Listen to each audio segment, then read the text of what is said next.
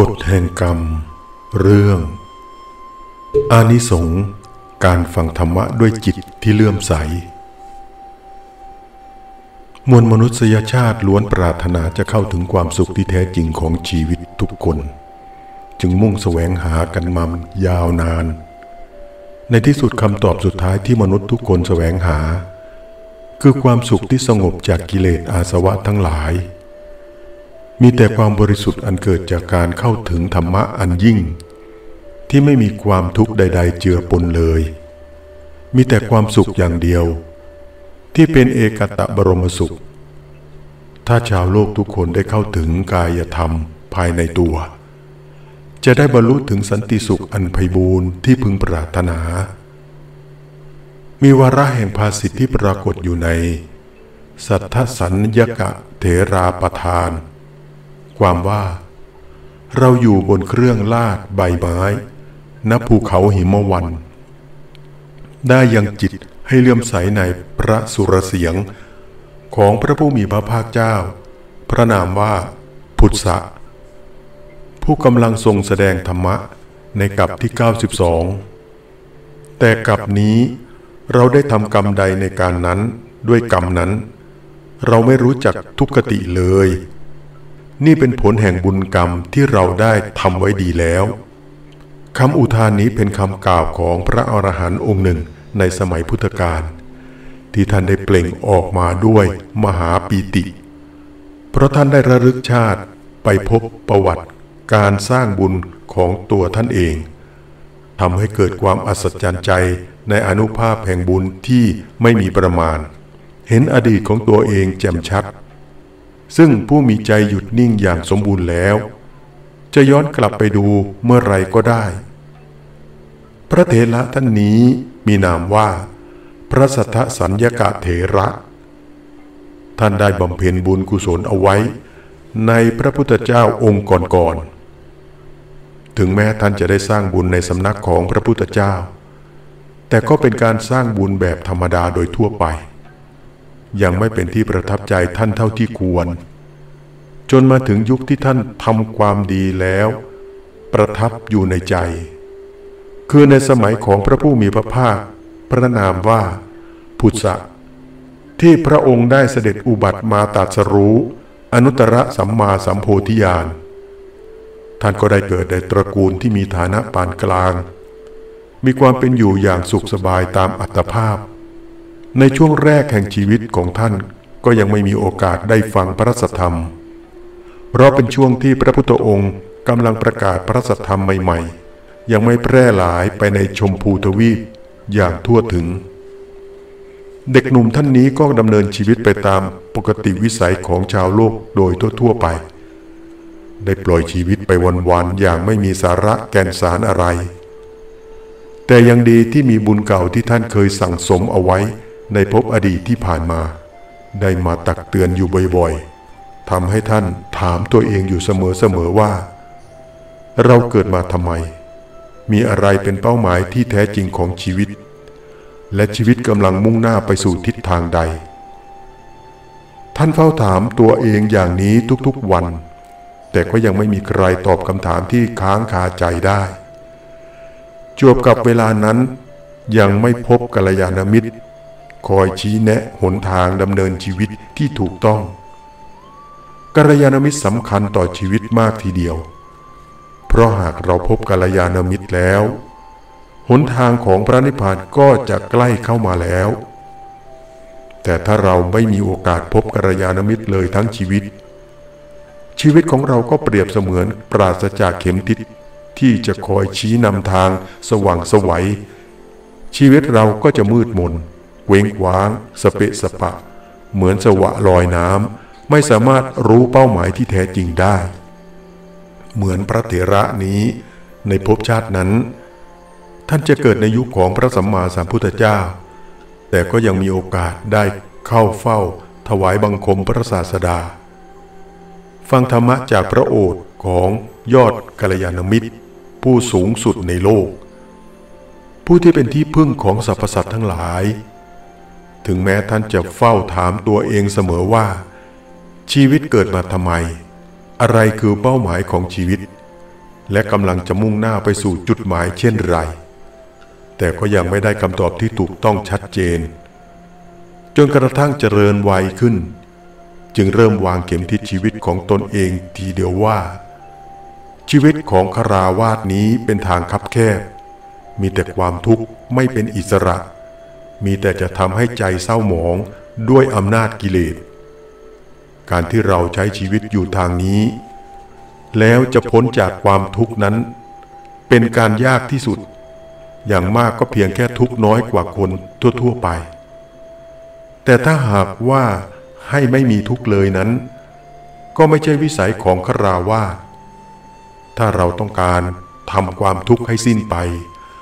เราควรที่จะต้องออกบวช ซึ่งเป็นหนทางเดียวที่จะทำให้เรานั้น มีชีวิตที่บริสุทธิ์บริบูรณ์ได้ เมื่อคิดได้อย่างนี้แล้วจึงตัดสินใจออกบวชเป็นดาบท อาศัยอยู่ในป่าหิมพานต์อาศัยผลไม้ป่าเลี้ยงชีพ ใช้ชีวิตอยู่ในป่าหิมพานต์อย่างสุขสงบ โดยไม่ได้รับรู้เรื่องราวโลกภายนอก แต่ทว่าแม้ท่านจะบำเพ็ญเพียรอยู่ในที่ที่วิเวกสุขสงบเช่นนั้น ก็ยังไม่สามารถทำใจให้หยุดนิ่งจนกระทั่ง เข้าถึงสภาวะธรรมะภายในได้ ขณะที่ในพระนครนั้น พระบรมศาสดาพระนามว่าพุทธะได้ทรงประกาศพระสัทธรรมไปจนทั่วพื้นชมพูทวีป มีมนุษย์และเทวดามากมาย ได้ดื่มน้ำอมตะธรรมะ และได้บรรลุธรรมะเป็นพระอริยเจ้ากันมากมายนับไม่ถ้วน มีตั้งแต่พระโสดาบัน พระสกทาคามี พระอนาคามีและพระอรหันต์ธรรมะได้สว่างสวัยกระจรกระจายครอบคลุมไปทั่วพื้นชมพูทวีป พระพุทธศาสนาได้ประดิษฐานตั้งมั่นเป็นที่พึ่งของสัตว์โลกทั้งหลาย ในทุกๆวันก็จะมีมหาชนมาศรัทธาเลื่อมใสเพิ่มมากขึ้นเรื่อยๆ ในแต่ละวัน จะมีผู้เดินทางไปฟังธรรมะที่พระวิหารในพระนครไม่ขาดสาย พระพุทธองค์ก็ทรงบำเพ็ญพุทธกิจอยู่ทุกๆวัน ตั้งแต่เวลาเช้าได้เสด็จออกบิณฑบาตโปรดผู้มีบุญ เวลาเย็นพระพุทธองค์ทรงแสดงธรรมะ เวลาค่ำก็ประทานโอวาทแด่ภิกษุสงฆ์ เวลาเที่ยงคืนก็ทรงพยากรณ์ปัญหาแก่เทวดาผู้มีความสงสัย ที่เข้ามาเฝ้าอย่างมากมายในแต่ละคืน ส่วนเวลาใกล้รุ่ง พระพุทธองค์จะตรวจดูสัตว์โลกผู้ควรโปรด ผู้ที่สามารถจะบรรลุธรรมวิเศษได้ มีอยู่วันหนึ่ง พระผู้มีพระภาคเจ้าทรงเห็นดาบทนี้เข้าไปในข่ายพระยานทรงดำริว่า ดาบทผู้มีบุญนี้ แม้ไม่สามารถบรรลุธรรมะในชาตินี้ได้ แต่เธอเป็นผู้ที่มีศรัทธา ปรารถนาที่จะพ้นทุกข์ เราควรอนุเคราะห์เธอ เพื่อให้เป็นอุปนิสัยไปในภพชาติเบื้องหน้า จึงเสด็จเข้าป่าหิมพาน เสด็จเข้าไปหาถึงอาสมของพระดาบทนั้น พระดาบทนั้นครั้นได้เห็น พระผู้มีพระภาคเจ้าตั้งแต่ไกล มองเห็นพระชพันรังสีที่เปล่งออกมาจากพระวรกาย ก็เกิดความเรื่อมใสคิดว่า สมณรูปนี้งามจริงหนอ มีรัศมีกายสว่างสวัยยังใจเราให้เบิกบานแช่มชื่นยิ่งนัก ชรอยสมณะนี้จะเป็นพระสัมมาสัมพุทธเจ้า คิดได้อย่างนั้น ก็ไม่รอช้า รีบเข้าไปต้อนรับปฏิสันฐาน พระบรมศาสดาเสด็จเข้าไปแล้ว ก็ทรงแสดงธรรมะด้วยพระสุรเสียงอันไพเราะ ดังเสียงของเท้ามหาพรหม คือมีลักษณะที่ไม่แหบ ไม่พร่า ก้องกังวาน อ่อนหวานไพเราะจับใจยิ่งนัก ดาบทพอได้ฟังพระสุรเสียงที่พระพุทธองค์ท่านแสดงธรรมะ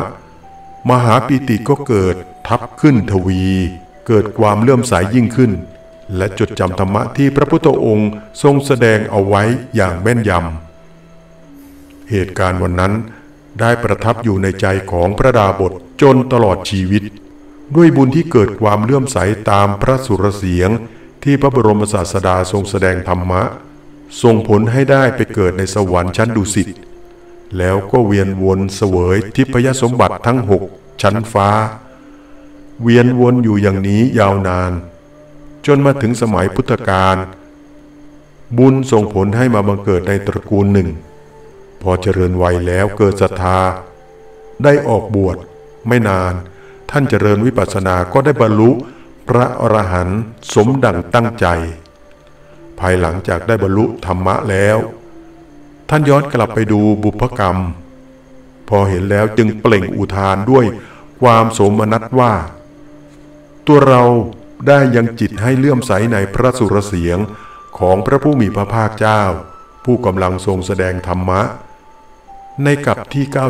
92 แต่ กับนี้เราไม่เคยไปสู่ทุกขติเลย เราสมบูรณ์ด้วยคุณวิเศษทั้งหลาย ก็ด้วยอนุภาพแห่งความเลื่อมใสในเสียงที่แสดงธรรมะ เพียงได้ฟังเสียงด้วยจิตที่เลื่อมใส ก็ส่งผลให้ไปถึงพระนิพพานได้ และยังเป็นทางมาของมหาสมบัติทั้งหลาย ทั้งที่เป็นมนุษย์สมบัติทิพยสมบัติและนิพพานสมบัติ ใจที่เลื่อมใสในพระรัตนตรัย มีอนุภาพยิ่งใหญ่ไม่มีประมาณ ทุกสิ่งทุกอย่างมีใจเป็นใหญ่ มีใจเป็นประธาน ทุกท่านโชคดีอย่างยิ่ง ที่ได้เกิดมาพบพระพุทธศาสนา มีโอกาสได้ฟังธรรมะ ปฏิบัติธรรมะ และพระสัทธรรมของพระพุทธองค์ก็ยังอยู่ ฉะนั้นเวลาฟังธรรมะก็ให้ตั้งใจฟังกันดีๆทำใจของเราให้ใสบริสุทธิ์ เราก็จะได้สมบัติทั้งหลายติดตามตัวไปทุกภพทุกชาติอย่างแน่นอน ช่วยกดติดตามและกดแชร์คลิปนี้ เพื่อให้ธรรมะเป็นทาน ได้บุญจากการให้ สาธุ เจริญในบุญขอบพระคุณสวัสดีครับ